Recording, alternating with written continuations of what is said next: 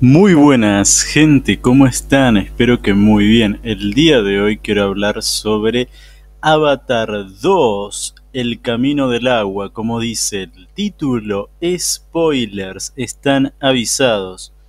Esta película de Avatar me ha parecido bastante buena, yo no digo que sea excelente ni maravillosa, pero ha estado bien, me ha entretenido, que eso es lo más importante, cuando uno ve una película, lo que principalmente espera es pasarla bien y entretenerse.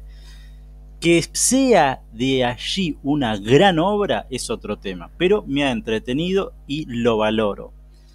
Ha cumplido con algunas cosas que me han parecido bastante buenas. Por ejemplo, yo creo que una cosa que todos hemos valorado siempre de Avatar es su calidad del CGI y efectos especiales que para la época fueron revolucionarios y ha vuelto a ser de una calidad gigante. Como ya he dicho, me, ha impresionado muchísimo todo lo que ha sido el CGI y los efectos especiales y eso es de agradecer. Si yo voy a ver Avatar, quiero que eso que ha hecho que Avatar sea famoso me, me impresione. Quiero ver eso, quiero disfrutar de paisajes preciosos, de un CGI impresionante, de, grandes batallas muy bien hechas. Y me lo ha dado, y lo he conseguido y lo he disfrutado. Así que bien por ese punto. Otra cosa que me ha gustado es que, y capaz haya gente que esto no le gustó, pero a mí sí, que han cambiado de locación. Vemos ya no el bosque que antes veíamos, esa zona selvática en Pandora, sino que hemos, ah, hemos cambiado a una parte de islas, de una zona más acuática, de playa. Y, y, vemos otra cultura diferente de los navis. Ya no son esos navis arbóreos, selváticos, sino que son navis más acuáticos, una especie de navis de la Polinesia, por decirlo de alguna manera, que tiene una conexión, como todos los navis, muy grande con el planeta, con los animales, etc.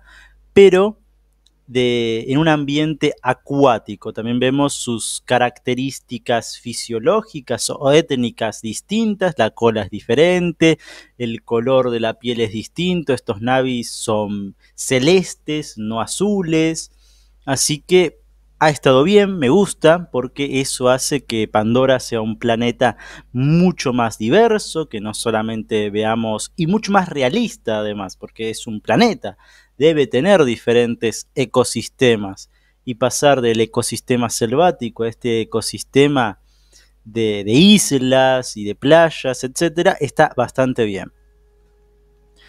Otra cosa que también me ha gustado es que vemos un tipo diferente de batalla. Originalmente vimos batallas terrestres, batallas aéreas, etc. Pero en este caso vemos una batalla naval y esto es poco común. Por lo general las películas bélicas no se centran tanto en batallas navales y acá hay una enorme batalla naval con submarinos, un gran barco que podríamos decir que era una especie de destructor peleando contra estos navis acuáticos y la familia de nuestro protagonista, así que bien ahí.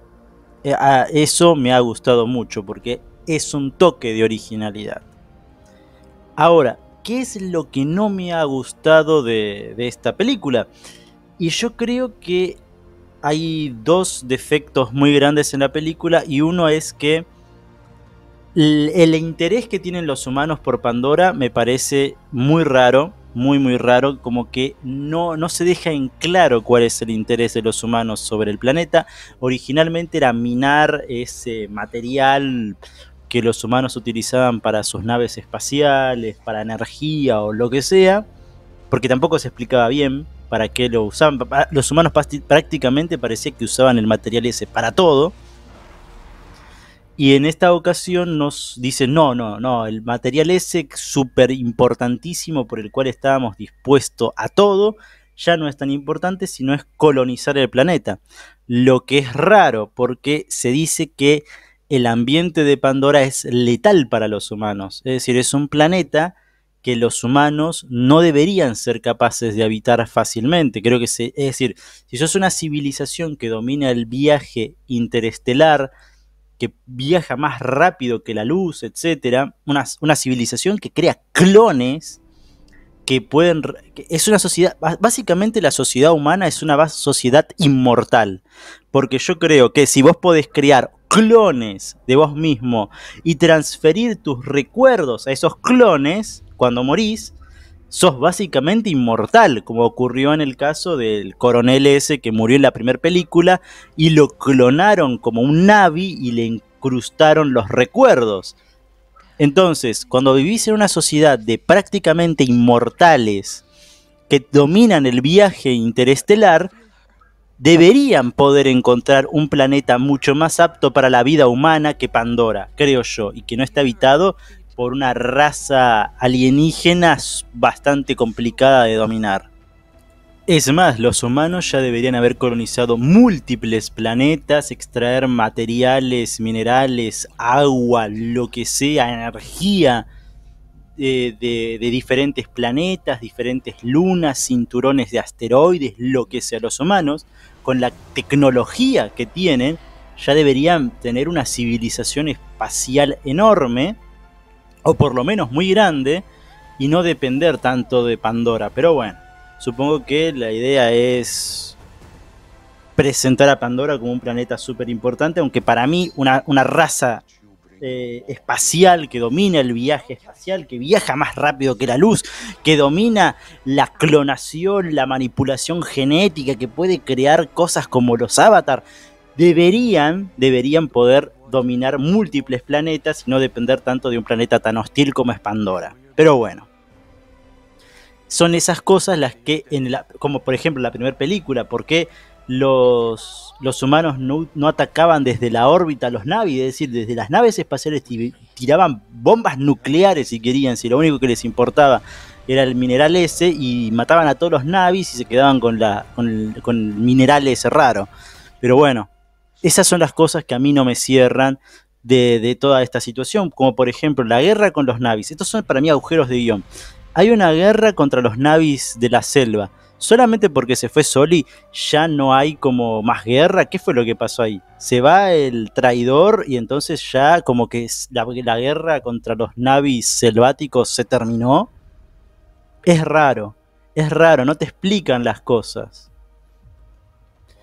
Y otra cosa que para mí me, parece que es complicado en, esta, en esta historia es que te cuentan muchas cosas al mismo tiempo. Primero tenemos la llegada de los humanos, empiezan a construir rápidamente una ciudad, la capacidad tecnológica, repito, la capacidad tecnológica que tienen los humanos de montar una ciudad prácticamente de la noche a la mañana, robots, inteligencia artificial, de todo. Lo que tienen los humanos es un poder incalculable. Deberían los humanos arrasar con los navis y conquistar el planeta en un día si quisieran. Cuando empieza, cuando llegan las naves y incendian todo el bosque de los navis, es ridículo que los navis no estén ya dominados. No tienen la capacidad tecnológica como para resistir a los humanos. Los humanos, es decir, los humanos con nuestra tecnología actual deberíamos poder lanzar bombas nucleares contra los navis y matarlos a todos.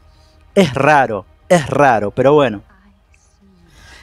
Eh, lo que pasa es que primero tenemos esa guerra contra los navis de la selva, no sabemos qué, cómo sigue esa guerra porque eh, la familia del traidor se muda con los navis acuáticos y ahí tenemos una historia completamente diferente. Pasamos de estar en medio de una superguerra por el, por el dominio del planeta a hay que aprender a adaptarse a vivir con los navis acuáticos. Y después en un momento es los, los villanos, que son los humanos en los Avatar que murieron en la primera película, aprendiendo a dominar sus cualidades de avatar y dominar a otros animales con sus cuerpos Navi. Entonces vos decís, ¿por qué vemos esto? Yo, yo, entiendo, es para mostrar cómo se van adaptando también estos otros humanos a, hacer navis o a ser mestizos navi humano, con navis con ADN humano, lo que sea. Eh, y después tenemos la gran batalla naval. Lo que yo digo es que, aunque son tres horas de película, hay muchos huecos argumentales, hay muchas cosas que no, que no entiendo o tengo que presuponer, no me muestran. Y lo más raro de todo es que yo creo que esto hubiera quedado mejor como una serie de televisión.